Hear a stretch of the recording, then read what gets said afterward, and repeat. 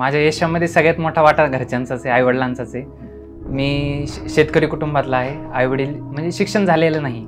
Road to the success is always under construction म्हणजे आपल्याला success. मिळवायचं असेल तर आपल्याला नेहमीच प्रयत्न करावे लागतात. आणि ज्या सक्सेससाठी गोष्टी आवश्यक आहेत त्या आपल्या स्वतःमध्ये निर्माण करायच्या असतात. मी जेव्हा तयारीला होतो तयारी केली तेव्हा मी व्हॉट्सअप वापरत नाही इंस्टाग्राम वापरत नाही तेव्हापासून वापरत नव्हतं. त्याचा मला नक्कीच थोडा फायदा आहे ना पण. फायदा झाला.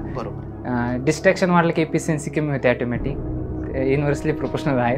त्यामुळे जितके कमी डिस्ट्रॅक्शन असतील तेवढे फायद्याचं आहे एक बांबूचं झाड असतं हो. ते बांबूचं झाड जेव्हा लावतो आपण तेव्हा पहिले काही वर्ष ते खाली वाढतं मुळा हो. मुळा वाढतात ते पसरवितं मुळा खाली आणि नं- तो पहिल्यांदा वरची वाढ काहीच दिसत नाही. त्याची नंतर काही वर्ष गेल्यानंतर त्याची वरची वाढ अचानक होते तर ही एटीपीची वरची वाढ आहे आणि तिथून पहिला. सगळा पहिला प्रवास ते आहे ते खालचे मुळे सहाय्यक नगर रचनाकार म्हणजेच असिस्टंट टाउन प्लॅनर या परीक्षेसाठी तयारी करत असाल तर ऑनलाईन आणि ऑफलाईन बॅच दिनांक अठरा जानेवारी दोन हजार चोवीसपासून सुरू होतं आहे इन्फिनिटी इंजिनिअरिंग अकॅडमीतर्फे अधिक माहितीसाठी सातशे अठ्ठ्याऐंशी सातशे एक्क्याऐंशी चौदा अकरा किंवा शहाण्णव नव्याण्णव एकोणनव्वद सत्तर सत्तर या क्रमांकावर संपर्क करा.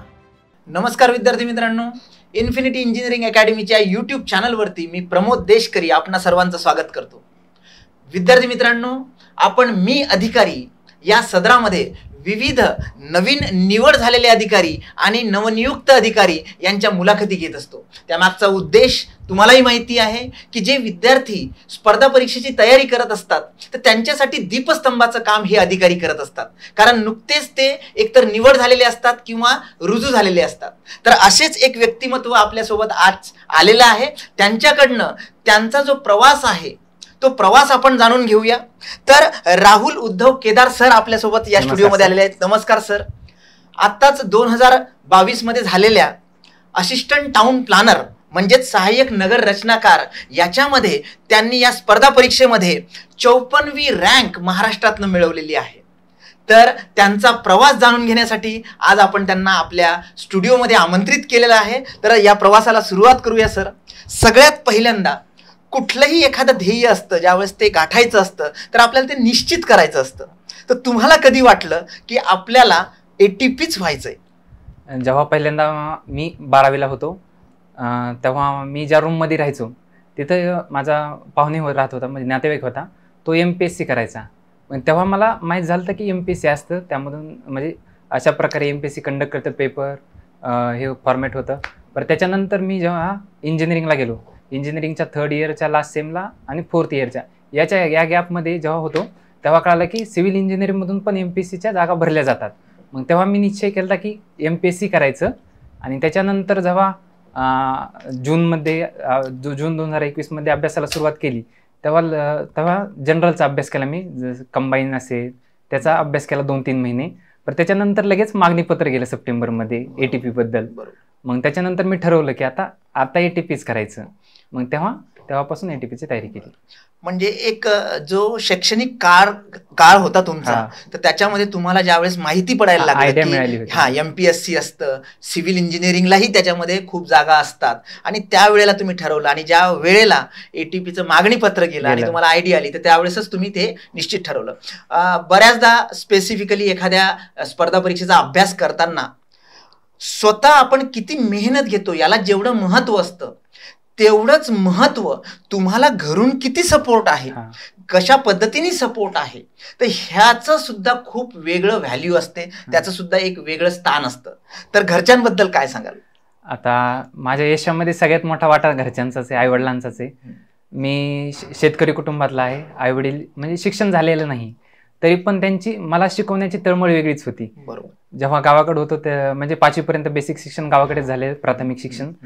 पण त्यांची तळमळ शिकवण्याची जरा जास्त होती त्यामुळे त्यांनी मला शिक्षणासाठी पुढच्या शिक्षणासाठी औरंगाबादला शाळेत टाकलं. म्हणजे घरची परिस्थिती चांगली म्हणजे म्हणजे नसताना सुद्धा त्यांनी तडजोड करून तुम्हाला शिक्षणासाठी औरंगाबाद सारख्या जागेला शिक्षणासाठी टाकलं. आणि त्यांनी माझ्या प्रत्येक डिसिजनमध्ये म्हणजे फुल सपोर्टने मागे उभं राहिले. जसा माझा इंजिनिअरिंग करण्याचा डिसिजन असला तरी ते म्हणले तू जे करायचंय ते कर. आमचा तुला फुल सपोर्ट आहे. म्हणजे त्यांनी मला आधी असं कधी म्हणलं नाही की हे कर ते कर. हे नको करू. म्हणजे म्हणजे तुम्ही ठरवलेल्या दिशेला तुम्ही ठरवलेल्या ध्येयासाठी सगळ्या गोष्टी ज्या पूरक त्यांच्याकडनं अपेक्षित होत्या. त्या त्यांनी भरभरून तुम्हाला आणि. जेव्हा एमपीएससीचा निर्णय घेतला एमपीएससीची तयारी करायची तेव्हा पण ते म्हणले तुला करायची असली तर- म्हणजे जॉब वगैरे काही करू नको. आपलं एमपीएससी वगैरे करायची म्हणतोय ना तू. कर. आमचा तुला फुल सपोर्ट आहे. पैसे लागले तर महाग वगैरे. असं असं नाही की तू जॉबच कर पैसेच कमव असं. काही नाही. म्हणजे त्यांनी असा वेळ दिला. मला कधीच म्हणले नाहीत किती दिवस करणार अजून असं काहीच. नाही. म्हणजे खूप चांगला सपोर्ट तुम्हाला घरच्याकडून मिळाला. आता घरून तर सपोर्ट मिळालेला असतो. आणि बऱ्याच विद्यार्थ्यांनाही तो मिळत असतो. पालकांनाही वाटत असतं की आपला जो पाल्य आहे आपला जो मुलगा आहे किंवा मुलगी आहे ही अधिकारी झाली पाहिजे. पण त्यामध्ये तुम्ही ते सगळं स्वप्न उराशी बाळगून मेहनतीच्या मार्गावरती जाऊन तुम्हाला ते ध्येय निश्चित करायचं असतं आणि गाठायचं असतं. बऱ्याचदा काय होतं की जे सक्सेसफुल आयकॉन असतात किंवा जे सक्सेस झालेले असतात तेवढे हायलाईट होतात. आणि मग त्यांचं त्यांची गरिबी असेल त्यांचे बॅकग्राऊंड असेल हे कुठेतरी हायलाईट होतं. पण प्रत्येकच वेळेस यश मिळतं असं नाही. नाही. तर यशासाठी तुम्ही काय प्रयत्न केले? आता यशासाठी नेमकं पहिले सुरुवातीला आपण ध्येय निश्चित करायचं असतं बरोबर. मग त्या ध्येयासाठी जे लागेल ते आपल्या प्रयत्न. करावंच हो. लागतात मग ध्येय के- ध्येय निश्चित केलं की आपल्याला त्याला वाटचाल लागतात मला एक कोट सांगावा असं वाटतं इथे. की road to the success is always under construction म्हणजे आपल्याला सक्सेस. मिळवायचं असेल तर आपल्याला नेहमीच प्रयत्न करावे लागतात आणि. ज्या सक्सेससाठी गोष्टी आवश्यक आहेत. त्या आपल्या स्वतःमध्ये निर्माण करायच्या असतात. जसं ज्ञान असेल त्या ज्ञान ज्ञान तर आत्मसात करावंच लागतं आपल्याला मग ज्या गोष्टी दुसऱ्याला लागतात स्किल लागत असतात वेगवेगळ्या टाइम मॅनेजमेंट वगैरे त्या आपल्या आत्मसात करावं लागतं त्यामुळे सक्सेस भेटतं. व्हेरी गुड खूप चांगला कोट सरांनी इथे केलेला आहे आणि सगळ्याच विद्यार्थ्यांसाठी तो मार्गदर्शक ठरेल. एखादी ध्येय निश्चिती झाली त्याच्याबद्दलचा घरून सपोर्ट मिळाला तुम्ही तुमचं जसं अंडर कन्स्ट्रक्शन म्हटलंय. तर ह्या सगळ्या गोष्टीला धरून तुमचं जे दिवसाचं प्लॅनिंग असायचं अभ्यास करताना तर ते कशा पद्धतीने असायचं आणि एक्झिक्यूट कसं करायचं तुम्ही? आता मी एटीपीला सुरुवात सप्टेंबर महिन्यात केली. तेव्हा मी क्लासेस जॉईन केलेली होती. आणि इन्फिनिटीचे क्लासेस जनरली पाच चार ते हो. आठ वाजेपर्यंत हो, असायचे. हो, बरोबर. मग त्याच्यासाठी सकाळी लवकर आठ आठच्या आस- आसपास लायब्ररीला जायचो. आठ ते एक वाजेपर्यंत असेल लायब्ररीत अभ्यास करायचा. एक नंतर ब्रेक जेवणासाठी ब्रेक व्हायचा. मग ते दीड तास डब्बाच घेऊन जायचो लायब्ररीत मग ते अर्धा एक तास असेल पाऊण तास असेल एकच्या नंतर तिथं. नंतर तिथून तीन तीन वाजेपर्यंत अभ्यास करायचा. म्हणजे अभ्यास वगैरे दुसरं न्यूजपेपर असतील ते वाचायचे. आणि त्याच्यानंतर तीन तीन वाजता क्लासेससाठी यायचं. मग हा हा कार्यक्रम तीन तीन ते चार महिने एटीपीचे जेव्हा रेग्युलर क्लास चालू होते तेव्हा तोपर्यंत चालायचा. त्याच्यानंतर जेव्हा सिलेबस संपला तेव्हा लायब्ररीतच म्हणजे फुल आठ वाजता जायचं दहा वाजता यायचं कधी साडे दहा कधी म्हणजे प्रत्येक गोष्टीचं प्लॅनिंग होतं प्रत्येक गोष्टीसाठीचा वेळ अभ्यासाचा वेळ. बरोबर आहे? ह्या सगळ्या गोष्टी आखीव रेखीव होत्या. हा आणि एक एक मेन होतं की लायब्ररीला जाऊन बसायचं. आपण लायब्ररीला गेलो का तिथं निश्चितच अभ्यास करतो. आजूबाजूला मंडळी अभ्यास करीत असते त्यांच्यात बघून आपण अभ्यास करतो. म्हणजे अभ्यासिकेचा सुद्धा खूप फायदा. होतो. ते ते नक्कीच. आहे. एक साधारणतः विद्यार्थी सगळे जण स्पर्धा परीक्षा देत असतात. आणि त्यांच्या त्यांच्या परीने काही नोट्स म्हणजे दुसऱ्याच्या नोट्स वापरत असतात. काही रेफरन्स बुक्स वापरत असतात. पण तुमची स्वतःची अशी काही पद्धत होती का की स्वतःच्या नोट्स आणि त्या कशा पद्धती म्हणजे काढात जर तुम्ही असाल. तर त्या कशा पद्धतीने काढाल काढत होतात तुम्ही? आता सर्वात पहिले जेव्हा क्लासेस जॉईन केले तेव्हा आपण एटीपीच्या बुक परचेस केलेल्या होत्या. ते हो. नोट्स होत्या हो. आणि आपल्या क्लास नोट हो. मग जेव्हा क्लास असेल तेव्हा क्लास नोट तिथं मी हे करायचं घ्यायच्या क्लास नोट्स त्या घरी गेल्याच्यानंतर दुसरी एक बुक होती माझी. मग त्या क्लास नोट्स स्वतःच्या शब्दात असेल किंवा व्यवस्थित त्या क्लास नोट्समध्ये स्वतःच्या नोट्स सेल्फ नोट होत्या. त्यामध्ये कॉपी करायच्या किंवा काही मॉडिफाय करायचं असेल काही एक्स्ट्रा माहिती लिहायची असेल. तर ती त्या ह्याच्यात लिहायची. आणि नंतर असे काही पॉईंट्स असतात जे आपल्याला लक्षात राहत नाहीत. विसरतात. हो. मग त्याच्यासाठी शॉर्ट्स नोट्स म्हणून एक प्रकार शॉर्ट्स नोट्स तयार केलेल्या होत्या. ओके त्या वेगळ्या. हा त्या वेगळ्या. मग त्याची कशी आपले कमी वेळात रिव्हिजन जास्त होईल? मग त्याला रिव्हिजनला जास्त वेळ भेटेल. म्हणजे खूप चांगल्या पद्धतीने सिस्टमॅटिक तुम्ही सगळ्या स्टडी हा. मटेरियलचा अभ्यास करून त्याच्यातला सार सुद्धा हा. शॉर्ट नोट्स वेगळ्या आणि डिटेल हा, नोट्स वेगळ्या. हे सगळं व्यवस्थित केलं होतं आणि इंटरनेटवरून आपल्याला वेगवेगळ्या. नोट्स भेटतात आता एटीपीला कसं ऍक्ट्स जास्त आहेत हो हो मग त्या ऍक्टच्या बेअर कॉपी काढायच्या मग त्याच्यावर काही शॉर्ट्स पॉईंट लिहायचे ते आता याच्यामध्ये एटीपीच्या अभ्यास करणाऱ्या बऱ्याचशा विद्यार्थ्यांना एक प्रॉब्लेम यायचा की. खूप सारे ऍक्ट्स जसं तुम्ही हा, आता म्हटलं की. आणि सगळ्यात महत्वाचं की सिलेबसच वेगळा आहे म्हणजे बऱ्यापैकी सिलेबस वेगळा आहे असं म्हणूया आपण एटीपीचा एटीपीचा आणि एमईएसचा एटीपीचा सगळ्याच वेगळा आहे. फक्त हो. त्यात कॉमन सब्जेक्ट असतील करंट ट्रान्सपोर्टेशन वगैरे असेल काही. बरोबर व्हॅल्युएशनचा काही पार्ट असेल. पण मग आता याच्यामध्ये जसं तुम्ही सांगितलं की ऍक्ट्स खूप असतात. तर ऍक्ट्स हे वाचता आले पाहिजे. हा. कारण तो आपला पिंड नाही. हा. म्हणजे इंजिनियरचा तर नक्कीच नाही. तर ऍक्ट्स हे वकिलाकडे जातात. हा. मग तुमची काय पद्धत होती की जर समजा मला M R T P act वाचायचा असेल किंवा अजून कुठले ऍक्ट वाचायचे असेल तर तुमची काही वेगळी पद्धत होती का? की तुम्ही तुमच्या भाषेमध्ये त्याला लिहून घेतलं होतं असं? आता तसं सांगायला गेलं तर आता वाणी सरांनी आपला एमआरटी हो, ऍक्ट हो, घेतला हो, होता. हो, लारा ऍक्ट असेल तो. हो. आपले व्हॅल्युएशनला साईनाथ सर होते. त्यांनी पण एकदम व्य- व्यवस्थित उत्तमरित्या व्हॅल्युएशन घेतलं. आणि त्यासाठी सांगा वाटतं माझे पंधरापैकी चौदा क्वेश्चन व्हॅल्युएशनचे बरोबर आले होते. आणि ट्रान्सपोर्टेशन असेल सौरभ सर त्यांनी पण एकदम उत्तमरित्या ट्रान्सपोर्टेशन कवर केलेलं होतं. आणि जेवढं ए टी पीला लागतं त्यापेक्षा जास्त त्यांनी कवर केलं होतं. त्यात म्हणता येईल मोर दॅन इनफ त्यांनी कवर केलेलं होतं. आपले इन्व्हायरमेंटचे सर असतील वर्मा सर त्यांनी पण एकदम वित उत्तमरित्या एन्व्हायरमेंट कवर केलेलं होतं. आणि आपलं करंटला सांगावंसं वाटतं आपलं न्यूजपेपर असेल ते तर वाचतच होतो. त्या त्याबरोबरच इन्फिनिटी क्लासेस ते आपले सागर सरांचे लेक्चर असतील परशुराम सरांचे लेक्चर असतील ते कंडक्ट करत होते. त्याचा नक्कीच फायदा झालेला आहे. एकदा आपलं डायरेक्शन भेटलं का. मग ते आपल्याला सोपं जातं. मग ते वाचताना काय करायचं? एक पॉईंट घ्यायचा तो फुल समजून घ्यायचा. मग तो रिपिटेटिव्ह रिपिटेटिव्ह कळाला नाही तर डबल वाचणे. आणि त्याच्यात मी एक केलं की सुरुवातीलाच सेक्शन पाठांतर माझा भर होता. म्हणजे सेक्शन सेक्शन्स पाठ. बरोबर. मग ते काय केलं? सेक्शन पार्ट केले की आपण? त्या ऍक्टवर आपली वचक बसली असं होतं. मग त्याची लिंक लागून जाते ऍक्टची प्रोसेस म्हणजे हे हो. कसं फ्लो कसा ऍक्टचा मग तो लक्षात राहण्यात मदत होते. म्हणजे खूप चांगल्या पद्धतीने तुम्ही सिस्टमॅटिक तुमच्या. अभ्यासाला एक सांगड घातली. आणि त्याच्यामध्ये सगळे ऍक्ट्स असतील समजून घेतले समजून घेणं समजून आहे घेणं. महत्वाचं आहे खूप छान पद्धतीने तुम्ही तयारी केली होती आणि. नक्कीच आमच्या विद्यार्थ्यांना ही मार्गदर्शक ठरेलच आता दुसरी बाजू आपण जाणून घेऊया की बऱ्याचदा काय होतं की विद्यार्थ्यांच्या मनामध्ये संभ्रम असतो. आणि स्थापत्य अभियांत्रिकीच्या विद्यार्थ्यामध्ये तर असतोच असतो इकडे सरळ सेवाही असते. इकडे तुमची एम ची इच्छा असते क्लास वन हा. क्लास टू होण्याची आणि एटीपी सारख्या सुद्धा काही ज्या ज्याला आपण म्हणतो की एक आयकॉन असलेल्या हा. ज्या पोस्ट असतात त्याच्यावरती लक्ष असतं तर अशा वेळेला जर काही विद्यार्थी गोंधळलेले असतील. किंवा मला काय करायचं बाबा नेमकं तर अशा विद्यार्थ्यांना तुम्ही काय सांगाल आता जेव्हा आपण सुरुवातीला तयारी करतो तेव्हा आपण विजन क्लिअर पाहिजे म्हणजे मला हे करायचं ते करायचं आपण म्हणजे दहा दिवस घ्या हो. पण तुम्ही पहिलं ठरवा की मला कोणती एक्झाम करायची. त्याचा सिलेबस अवेलेबल आहे आपल्याकडे प्रिव्हियस इयरचे क्वेश्चन पेपर अवेलेबल आहेत. तो आपल्याला सिलेबस कोणता सूट होतो? आपल्याच्यानं म्हणजे आपण कोणता आत्मसात जास्त करू शकतो? कोणत्यात जास्त स्कोर आणू शकतो? सिलेबस पाहून आपल्याला थोडी आयडिया येते. मग त्याच्यानुसार ठरवायचं आपल्याला कोणती पोस्ट करायची आणि त्याला. फुल हंड्रेड पर्सेंट द्या. जास्त दोन हे डायव्हर्ट होण्यापेक्षा एकच एकच एकावरच फोकस करा फोकस्ड राहा. त्याच्यात एफिशियन्सी जास्त देते बरोबर आहे आता याच्यामध्ये एक जर आपण बघितलं तर असिस्टंट टाउन प्लॅनरची जी एक्झामिनेशन झालेली आहे त्याच्यामध्ये साधारणतः जी थेअरी एक्झाम झाली त्यांची म्हणजे स्पेसिफिकली आपण असं म्हणूया की फर्स्ट जी स्क्रुटिनी एक्झाम. झाली तर याच्यामध्ये एकशे चाळीस ते एकशे साठच्या टप्प्यामध्ये मार्क. असणारे खूप सारे विद्यार्थी होते. आणि त्याच्यामुळे मुलाखतीला एक अनन्यसाधारण महत्त्व. प्राप्त झालं. आणि जिथे ज्या विद्यार्थ्यांनी मुलाखतीमध्ये बाजी मारली. त्यांचं सिलेक्शन झालं. आणि त्यामध्ये तुम्ही एक आहात. चौपन्नवी रँक तुम्ही मिळवलेली आहे. तर नक्कीच तो मुलाखतीचा टप्पा तुमच्यासाठी खूप वेगळा असेल. तर त्याचं काही दडपण आलं होतं? नाही थोडी नर्वसनेस तर प्रत्येकालाच असते. बरोबर आहे.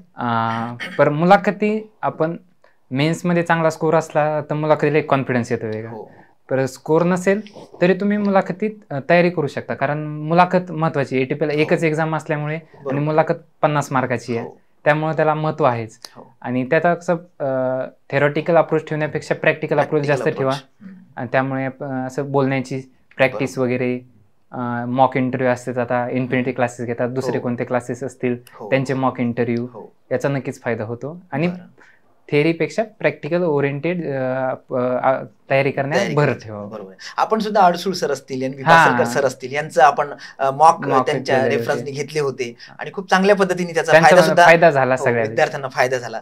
बरोबर आहे. आता याच्यामध्ये मॉकची तयारी तुम्ही स्पेसिफिकली केली होती. पण एक जनरल विद्यार्थी जेव्हा तयारी करतात मग मॉक तुमचं एखादी मुलाखत नुसती एटीपीचीच नका म्हणू. हा. एम ची सुद्धा असते. तर एक साधारणतः विद्यार्थ्यांनी मुलाखतीबद्दलचा अप्रोच कसा ठेवायला पाहिजे मी जसं सांगितलं की मुलाखतीला प्रॅक्टिकल वेने बघा हो म्हणजे तुमची बोलण्याची हावभाव कसे आहेत म्हणजे आपण एखादा मित्र असेल त्याची मदत घ्या त्याच्यासमोर बोलून दाखवा की मी हो. कसा बोलतोय त्याच्यावर त्याच्या. टिपणी टिपणी वगैरे घ्या बरोबर. की काय कमी आहे काय वाढू शकतो मी काय याच्यात सुधार करू शकतो.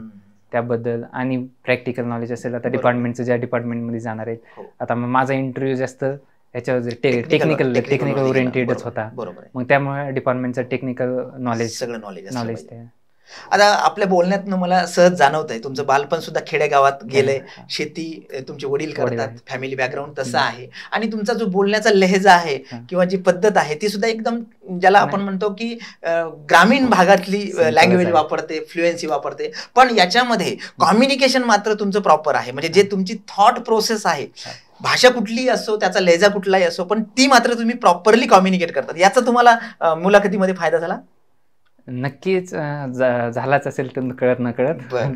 पर. नाही खूप चांगल्या पद्धतीने तुम्ही तुमचे थॉट प्रोसेस मांडता हा आणि हीच थॉट प्रोसेस विद्यार्थ्यांची जितकं रिअल होता येईल तितकं रिअल होणार बरोबर बरोबर. कारण. पुढचे व्यक्ती एक्सपिरियन्स असतात त्यांना हो. लगेच जाणून येतं हा हो, फेक करतोय बरोबर का आहे. रिअल खोटं बोलतोय किंवा फक्त फेसियल एक्सप्रेशन देतोय देतोय बरं बरं बरं. त्यामुळे या मुलाखतीच्या शेवटच्या टप्प्याकडे आपण आलेलो आहे. सरांकडनं आपण खूप गोष्टी जाणून घेतल्यात. आणि सगळ्यात महत्वाचं की राहुल सरांनी चौपन्नवी रँक मिळवलेली आहे.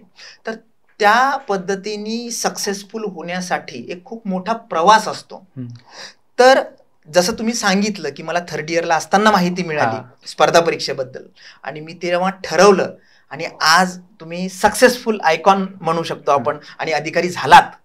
हा प्रवास जर तुम्हाला एका शब्दात सांगायचा असेल तर कशा पद्धतीने सांगाल तुम्ही? नाही, प्रवास मोठाच होता तो. म्हणजे आता डिटेलमध्ये सा- सांगण्याचा प्रयत्न करतो. मी जर प्राथमिक शिक्षण माझ्या आजोळी झालं. हो. आई वडील कारखान्याला जायचे. हो. त्यामुळे आजोबापाशीच पाचवीपर्यंत शिक्षण घेतलं मी. त्याच्यानंतर पाचवी नंतर आई वडील आई वडिलांच्या म्हणण्यानुसार ह्याच्यानुसार मी औरंगाबादला मावशी राहते माझी.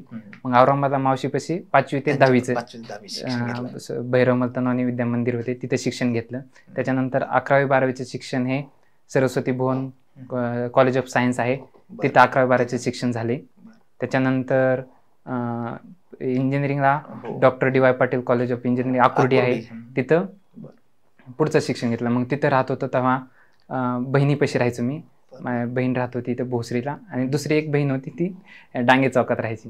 मग त्यांच्यापाशी राहण्याचे त्यांचं मला दाजी कन्स्ट जेव्हा मी डांगे चौकात राहत होतो फर्स्ट इयरला आणि सेकंड इयरला तेव्हा मी त्या बहिणीपाशी राहायचो त्यांचे दाजी होते म्हणजे माझे दाजी ते ते कन्स्ट्रक्शन ह्याच्यामध्ये. काम काम करत होते. मग त्याच्यामुळं तिथली माहिती भेटली माहिती झाल्या.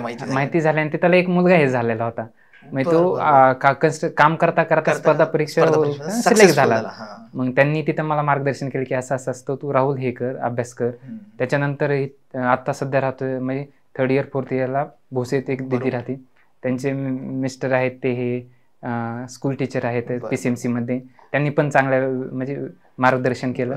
तर एकंदरीत घरच्यांचा सपोर्ट असेल. नातेवाईकांचा सपोर्ट असेल मित्रांचा सपोर्ट असेल हा महत्त्वाचा आहे आणि त्याच्यात खूप मोठा साठा आहे. म्हणजे हा जो काही भव्य दिव्य प्रवास आता आपण बघतोय एक सक्सेसफुल आयकॉन. म्हणून तर याच्या सुरुवातीपासनं तर या या क्षणापर्यंत त्या त्या प्रतिकूल परिस्थितीमध्ये घरच्यांची असेल आई वडील असेल बहिणी असतील दाजी असतील. सगळ्यांचा सपोर्ट सपोर्ट सगळ्या या सगळ्यांचा सपोर्ट आणि हा पारिपाक म्हणजे आजचे.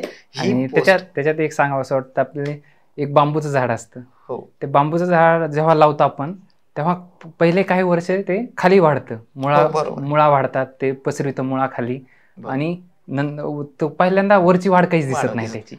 नंतर काही वर्ष गेल्यानंतर त्याची वरची वाढ अचानक होते तर ही एटीपीची वरची वाढ आहे आणि तिथून पहिला. सगळा पहिला प्रवास ते आहे ते खालचे मुळ आहेत असं म्हणायला हरकत नाही छान उदाहरण देऊन सरांनी राहुल सरांनी आपल्याला हे गोष्ट सांगितली की कशा पद्धतीने ही डेव्हलपमेंट झालेली आहे तर थ्रू आउट डेव्हलपमेंट म्हणजे आत्मीय जी डेव्हलपमेंट आहे ती. खूप मोठी आणि त्याला खूप वेळ लागतो बरोबर. आहे आणि पण एकदा का ते सगळं स्ट्रॉंग झालं बेस. तुमचा तर मग मात्र तुम्हाला सक्सेस किंवा यशस्वी होण्यापासून कोणीही रोखू शकत नाही. राहुल सर तुम्ही इथं आलात तर एक शेवटची मी विनंती करतो हं. की आमचे जे स्पर्धा परीक्षेचे विद्यार्थी आहेत मग ते एम ची तयारी करत असेल सरळ सेवेची तयारी करत असेल किंवा असिस्टंट टाउन प्लॅनिंग या डिपार्टमेंटची सुद्धा परीक्षेची तयारी करत असेल तर यांच्यासाठी तुम्ही काय मार्गदर्शन कराल? जे मगाशी मी कोट सांगितला की road to the success is always under construction मग त्याला जेव्हापासून आपण तयारी करतोय किंवा कॉलेजमध्ये आहात शाळेमध्ये आहात तेव्हाच वेगवेगळे गुण आपल्यात आत्मसात करा ज्ञान मिळवण्याचा प्रयत्न करा. आणि जेव्हा तुम्ही स्पर्धा परीक्षेत यायचं असं ठरवताय ते कोणतीही स्पर्धा परीक्षा असू दे तेव्हा आपलं विजन क्लिअर पाहिजे. तुम्ही घरच्यासोबत बसून चर्चा चर्चा करा की मला असं असं हे करायचं आहे मग त्यांना त्यांचा सपोर्ट घ्या. त्यांचा सपोर्ट सर्वात महत्त्वाचा आहे. म्हणजे म्हणजे कसं एखादं दडपण आलं किंवा घरच्यांनी फोर्स वगैरे केलं तर त्या त्यावेळेस अभ्यास व्यवस्थित होत नाही. आणि जेव्हा फुल सपोर्ट असतो तेव्हा वेगळाच अभ्यास होतो. बरोबर. तर पहिलं आपलं विजन क्लिअर करा. मला ही एक्झाम करायची. मग त्यासाठी सिलेबस अवेलेबल आहे सिलेबस काढून घ्या. प्रिव्हियस इयरचे क्वेश्चन्स असतील. त्याच्यातून अभ्यास कर म्हणजे त्याच्यात आपल्याला एक व्ह्यू मिळून जातो. बरोबर. की सिलेबस असा आहे. प्रिव्हियस इयरला असे क्वेश्चन आलेले आहेत. मग त्याच्यानुसार एक पॉईंट सिलेबस आणि प्रिव्हियस इयरचे क्वेश्चन याच्यातून एक पॉईंट घ्यायचा. तो फुल क्लिअर करायचा. म्हणजे त्याचा पूर्ण व्यवस्थितरित्या त्याचा अभ्यास करायचा. आणि त्याच्यानंतर कंटि कंटिन्युटी तर ठेवावंच लागते सातत्य. महत्वाचंच आहे आहे आणि जे डिस्ट्रॅक्शन असतील आता आता. आपण बघतोय social media social media digital media जास्त आहे. डिस्ट्रॅक्शन आहेत मग ते अवॉइड करण्याचा प्रयत्न करा. पूर्णच बंद करू नका अवॉइड करण्याचा प्रयत्न करा आता मी एक सांगावं असं वाटतं मी जेव्हा तयारीला होतो तयारी केली तेव्हा मी व्हॉट्सअप वापरत नाही इंस्टाग्राम वापरत नाही तेव्हापासून वापरत नव्हतं त्याचा मला नक्कीच थोडा फायदा का होईना पण. फायदा झाला बरोबर आहे. डिस्ट्रॅक्शन वाढलं की एफिशियन्सी कमी होते ऑटोमॅटिक युनिव्हर्सली प्रोफेशनल आहे. त्यामुळे जितके कमी डिस्ट्रॅक्शन असतील तेवढे फायद्याचं आहे. ते. ठेवा आणि फोकस स्टडी बरोबर आहे. फोकस्ड असेल सातत्यता सातत्य असेल. खूप छान मार्गदर्शन राहुल सरांनी केलं. तर राहुल उद्धव केदार. सर ग्रामीण भागामधनं आलेलं एक व्यक्तिमत्व एकदम प्रतिकूल परिस्थितीमधनं प्रत्येक स्टेजला वाट काढत आज स्थापत्य अभियांत्रिकीची पदवी घेऊन जे नगर रचना विभागामध्ये जे मूल्यांकन अ, विभाग आहे त्याच्यामध्ये असिस्टंट टाउन प्लॅनर या पोस्टवरती त्यांची नियुक्ती झालेली निवड झालेली आहे तर त्यांनी आपल्या स्टुडिओमध्ये येऊन आपल्या विद्यार्थ्यांना मार्गदर्शन केलं ग्रामीण लहेजा असूनही आणि कुठलाही न्यूनगंड न बा बाळगता जे ॲक्च्युअलमध्ये त्यांची थॉट प्रोसेस आहे ती खूप. परफेक्ट त्यांनी आपल्या सर्वांना सांगितली आणि कशा पद्धतीने प्रिपरेशन केलं पाहिजे याचं मार्गदर्शन केलं? सर तुम्ही आमच्या स्टुडिओमध्ये आलात. आणि आमच्या विद्यार्थ्यांना मार्गदर्शन केलं. याबद्दल मी आपला इन्फिनिटी परिवारातर्फे आभारी आहे. धन्यवाद. आणि मला पण बोलवल्याबद्दल इन्फिनिटी परिवारचे धन्यवाद.